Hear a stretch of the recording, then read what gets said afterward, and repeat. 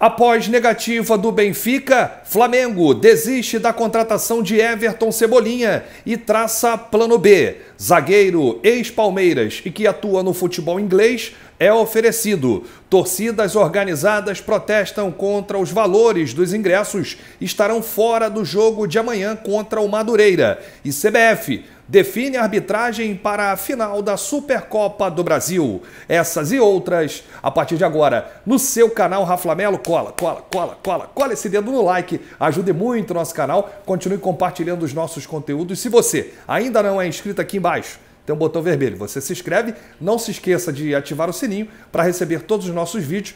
Raflamelo81 nossas redes, assiste até o final para você não perder nenhum detalhe. Hoje estou aqui no estúdio de tatuagem do meu parceiro Thiago Coach, aqui no Via Parque. A galera da Barra da Tijuca pode chegar aqui, vai ser muito bem atendido. E o cara é fera, o cara é brabo. Eu vou mostrar a tatuagem. Eu sempre tive vontade, mas nunca tive coragem. Hoje eu tive coragem. Vou mostrar aqui pra galera, ó. E tinha que ter o Mengão na tatuagem, olha aí, ó. O Leão, o Tempo e o CRF. Clube de Regatas do Flamengo. Parabéns, Thiago Couto. Se inscreve no canal dele no YouTube, Thiago Coach. E tem também no Instagram. É Thiago K-O-U-T-T. Thiago Coach. O cara é muito brabo ele atende toda a galera que mora aí no Brasil. Olha aqui, vamos trazer as informações do Flamengo, porque a CBF definiu aí a arbitragem para a Supercopa Flamengo e Atlético Paranaense se enfrentam domingo, dia 20 de fevereiro, em Cuiabá, Arena Pantanal. E sabe qual vai ser o árbitro? Ele mesmo, Anderson Daronco, aquele fortão, é árbitro FIFA. Anderson Daronco apita Atlético Mineiro e Flamengo. Ele será auxiliado por Danilo Ricardo Simon, também FIFA de São Paulo. Bruno Rafael Pires, FIFA de Goiânia, e o VAR ficará com Daniel Nobre Bins. O Daronco ele é árbitro FIFA do Rio Grande do Sul, que o Daronco apite bem a Supercopa do Brasil e a gente vai ficar de olho, hein? Qualquer coisa a gente vai ficar de olho. A gente sabe aí como é que o Atlético Mineiro foi é, teve aí né, êxito no Campeonato Brasileiro no ano passado, enfim, muitos erros de arbitragem. Então a gente espera que tenhamos um bom espetáculo aí a Supercopa do Brasil nesse jogo único, Flamengo e Atlético Mineiro. Se empatar, vai para os pênaltis. Flamengo é bicampeão, foi campeão contra o Atlético Paranaense, foi campeão contra o Palmeiras nos pênaltis e agora luta pelo tri. Olha aqui, tem uma informação sobre as torcidas organizadas do Flamengo, inclusive, elas lançaram uma nota de repúdio contra os valores dos ingressos cobrados aí pelo Madureira no jogo de amanhã. Um absurdo, 120 reais, o ingresso mais barato aí para a galera que quer assistir o jogo. A nota oficial. Viemos, por meio desta, informar que amanhã, na partida diante do Madureira, em Conselheiro Galvão, as torcidas organizadas do Flamengo, em comum acordo, decidiram não levar nenhum tipo de material e não se farão presente nesta partida.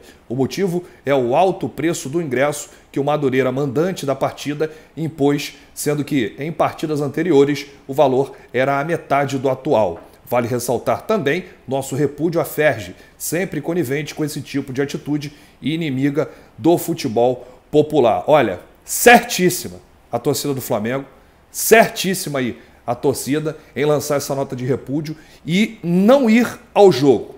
Não ir ao jogo amanhã por conta aí do Madureira querendo fazer dinheiro em cima do Flamengo. O que me revolta é o silêncio do Procon. É o silêncio da FERJ, Federação de Futebol Estadual do Rio de Janeiro. Cadê a FERJ nessa hora? E o Flamengo também não cobra nada. O mando é do Madureira. Beleza, mas pode fazer o que quiser, pode cobrar ingresso altíssimo. Pô, peraí, hein? É um jogo apenas no Campeonato Carioca, não é semifinal de Champions, não é semifinal de Libertadores. O Madureira contra o Vasco cobrou lá 60 reais. Aí o Flamengo quer cobrar 120? A melhor atitude é essa, é só não ir ao jogo. Aí eles não vão vender ingressos.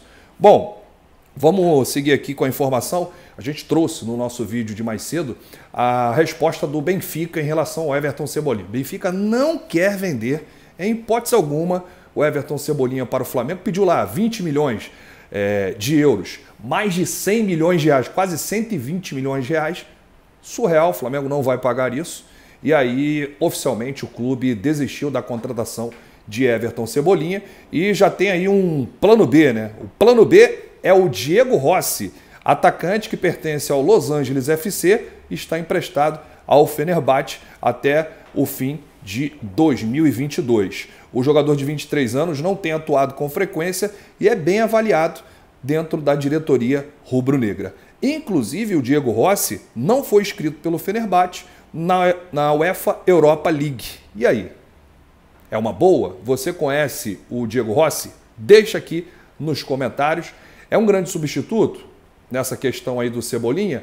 Ou existe outro jogador que o Flamengo deveria olhar com carinho? Ou não é uma posição aí que o Flamengo precisa no elenco? Deixa aqui nos comentários para a gente debater essa situação. Ainda sobre o mercado da bola, de acordo com o site torcedores.com, o zagueiro Yerry Mina, muitos lembram dele, ele passou pelo Palmeiras, ele está agora lá na Inglaterra e o Yerry Mina foi oferecido ao empresário Juliano Bertolucci, o Bertolucci que está com o Marcos Braz e também com o Bruno Spindel na Europa. É, a condição é o seguinte: uma possibilidade de empréstimo com opção de compra do Flamengo ao término de empréstimo, 50% dos direitos do jogador. Vale ressaltar aí que o Mina tem interesse sim em escutar a proposta do Flamengo e o Paulo Souza aprova uma possível contratação. Bom, o Yerry é bom zagueiro, não teve muito sucesso lá na Inglaterra, inclusive ele não, ele não está jogando. No Palmeiras eu lembro muito bem dele, um zagueiro forte pelo alto, pelo chão, também é goleador e o site Torcedores dizendo aí que o Flamengo está na parada para tentar contratar o Yerry Mina de 26 anos, ele que atua no Everton, lá da Inglaterra, atualmente o jogador está lesionado e entregue ao departamento médico. Também não, não dá para trazer jogador lesionado, né? Não dá para ficar trazendo jogador aí com histórico de lesão. Tem que chegar atleta pronto. Né? A temporada iniciou, estamos no Campeonato Carioca. Daqui a cinco dias, um jogo muito importante contra o Atlético Mineiro já pela Supercopa do Brasil. Daqui a pouco começa o Campeonato Brasileiro, a Copa do Brasil, a Libertadores.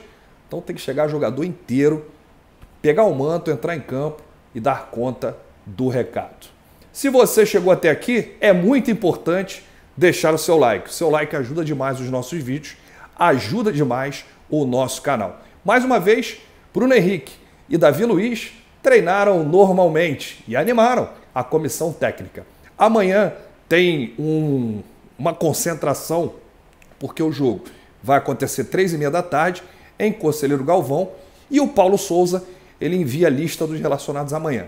A tendência é que Bruno Henrique e Davi Luiz sejam relacionados e possam atuar para ganhar minutagem para o jogo de domingo final da Supercopa do Brasil. Grande abraço, saudações rubro-negras. Vamos com tudo, porque isso aqui é Flamengo!